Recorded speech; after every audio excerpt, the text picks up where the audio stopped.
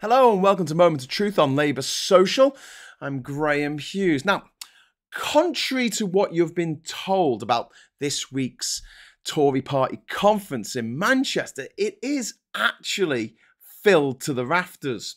Not with people, obviously, because who would want to associate themselves with this screaming monkey clown car on fire as it goes off a cliff? No, it's filled with something else lies. The porkiest pies you've ever heard, emanating from the clanging manholes of some of the most vile public school fash we've ever had the misfortune of sharing a planet with. Here's a top 10 of the most disingenuous lies so far as things stand at 8 pm on Tuesday. The way things are going, I might need to do another list tomorrow. At number 10, we've got Greg Hands claiming that Labour under Starmer flip flops on policy. A more nuanced reading of the situation is that Labour have been forced to dial back on some of their ambition as a direct result of the Tories well and truly bankrupting the nation financially and morally.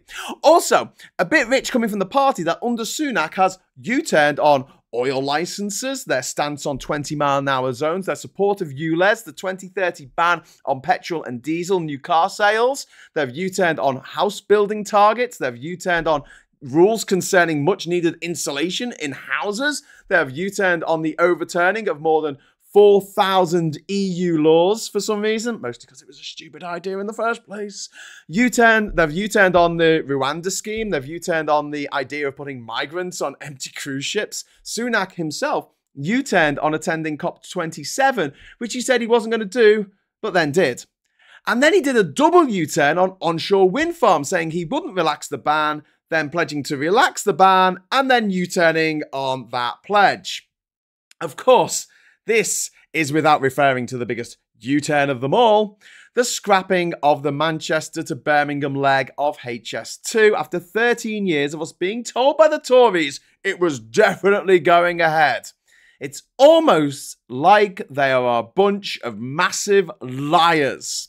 At number nine on our list, of lies, we've got another pop at Labour, this time a completely made up policy to tax meat that Net Zero Secretary Claire Coutinho thought she'll declare was an actual thing when it's not, to the four or five people sitting listening to her speech, before backtracking a little when tackled on it by Sky News's Sophy Ridge. I tell you what though, when your political party has to literally make stuff up about the opposition to criticise, the writing is on the wall. A, a view shared by thousands of Tory voters who thought they'll give this convention, the last before a general election, a hard miss. But them Tory MPs are not done with making shit up about Labour.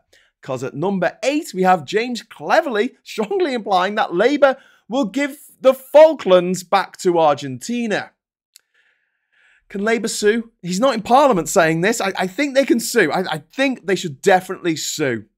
At number seven, not the lie about the seven bins that, that Labour apparently want to squeeze into our kitchens for some reason, but the lie that 15 minute cities are somehow tyrannical. A lie, a lie trotted out by, of all people, Transport Secretary Mark Harper.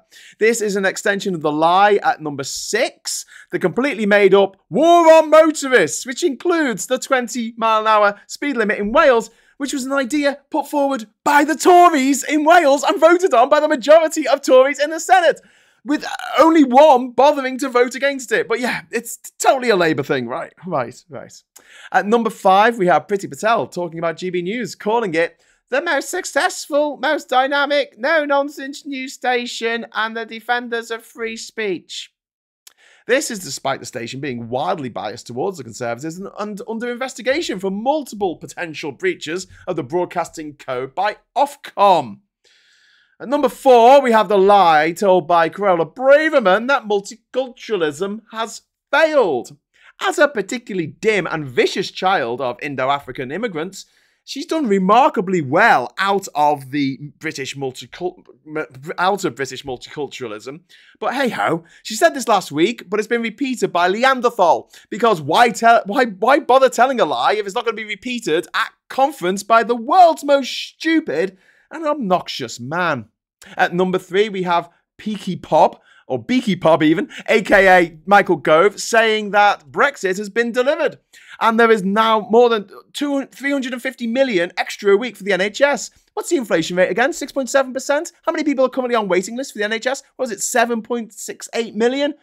Yeah, okay, I'll just leave it at that. At number two on this dispiriting list of bullshittery, we've got Swivel Eyed Loon, Danny Kruger MP, saying there's going to be a one world government that's going to tell us all what to do. That is unless the Tories are empowered to stand up to them, just like they stood up to those Russian Tory party donors, the oil giants, big tobacco, big pharma, Saudi Arabia, the USA, China, India, Australia, etc. I don't think being on your knees counts as standing, but what do I know? And at number one, we have possibly the most disgusting lie told at the Tory party conference so far. And that dubious accolade goes to the disgusting Enoch Powell fangirl and Tory candidate to be London Mayor, Susan Hall, who declared that Sadiq Khan frightens Jews because reasons. The Board of Deputies of British Jews quickly issued a statement praising Mr. Khan as someone who treated them with respect and friendship. To which Ms. Hall doubled down because of course she did, and refused to apologise for her slander, lies, dog whistle racism, and general scumbaggery. And that wraps up my list of the most wretched and disappointing fantasies since the last season of Game of Thrones. I'll no doubt be back tomorrow with more. Feel free to add your contribution in the comments below.